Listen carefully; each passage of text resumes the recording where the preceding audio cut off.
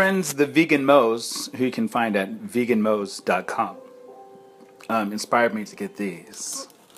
What's next? What's next? What I'm making is uh, lentils and tomato sauce from the Vegan Mos website. It's vegan, V E G A N M O S. Uh, I'm getting some of this ready to go uh, for my. St- I'm really into that um, better than bouillon because it's really inexpensive and I always wind up with like half a thing of vegetable stock that then I don't know how.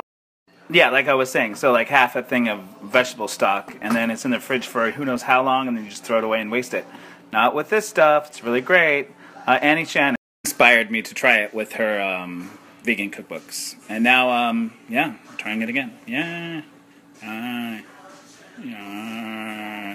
Tang onions while the noodle noodles lentils are simmering. Actually, too much. I just turned the heat down a little bit. I'm kind of excited about this. I'm hungry.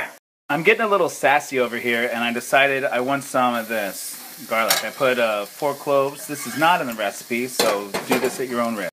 Another change from the recipe, I used diced fire roasted uh, tomatoes instead of tomato sauce.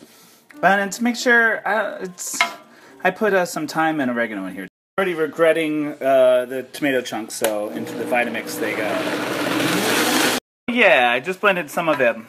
Uh, so it looks better now. So there's still chunks and it's more saucy. I like it this way.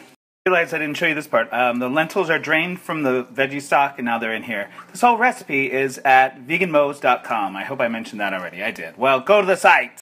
So Miss Baked Potato, sweet potato, she just came out the oven. She's steaming and delicious.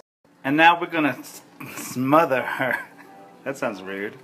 With the lentils and tomatoes. What? This is gonna be so good ad. This is cheap. This was like a cup and a half of lentils and a couple cans of tomatoes, and then spices and stuff I already had, and an onion and garlic. I mean, it sounds like I just listed a